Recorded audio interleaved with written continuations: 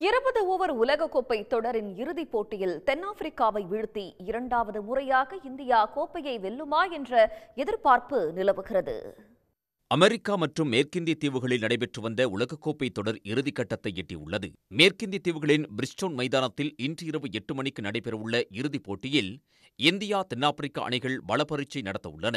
இனவெறி பிரச்சினைக்கு பின் ஆயிரத்து தொள்ளாயிரத்து தொன்னூற்றி இரண்டாம் ஆண்டு மீண்டும் சர்வதேச கிரிக்கெட் போட்டிகளுக்கு திரும்பிய தென்னாப்பிரிக்கா இதுவரை உலகக்கோப்பையை வென்றதில்லை. இந்த முறை மார்க்ரம் தலைமையிலான தென்னாப்பிரிக்க அணி முதன்முறையாக உலகக்கோப்பை தொடரின் இறுதிப் போட்டிக்கு முன்னேறி வரலாறு படைத்துள்ளது. ஒவ்வொரு உலகக்கோப்பையிலும் நாக் அவுட் சுற்றில் தோல்வியடைந்து ஏமாற்றத்துடன் வெளியேறும் தென்னாப்பிரிக்கா இந்த முறை கோப்பை வெல்ல வேண்டும் என்ற முனைப்பில் உள்ளது. ரோஹித் சர்மா தலைமையிலான இந்திய அணி ஒரு போட்டியில் கூட தோல்வியடையாமல் இறுதிப் போட்டிக்கு தகுதி பெற்றுள்ளது. இரண்டாயிரத்து ஏழு உலகக்கோப்பை தொடரில் தோனி தலைமையிலான இந்திய அணி முதன்முறையாக இருபது ஓவர் உலகக்கோப்பையை வென்றது.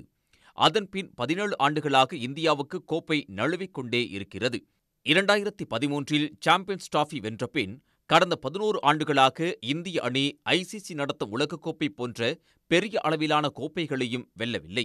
எனவே இந்திய அணி இந்த முறை நிச்சயம் கோப்பை வெல்லும் என ரசிகர்கள் ஆவலுடன் எதிர்பார்க்கின்றனர். நடப்பு உலகக்கோப்பை தொடரில் தோல்வியை சந்திக்காத இரு அணிகளும் இறுதிப் போட்டியில் களம் காண்பது என்பது சுவாரஸ்யத்தை ஏற்படுத்தியுள்ளது.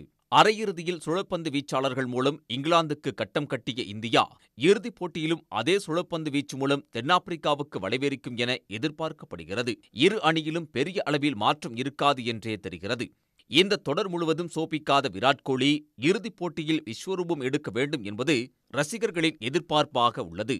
முதல் முறையாக கோப்பையை வெல்ல தென்னாப்பிரிக்காவும் இரண்டாவது முறையாக கோப்பையை வெல்ல இந்தியாவும் போராடும் என்பதால் இன்று நடைபெறும் இறுதிப் போட்டியில் விறுவிறுப்புக்கு பஞ்சம் இருக்காது.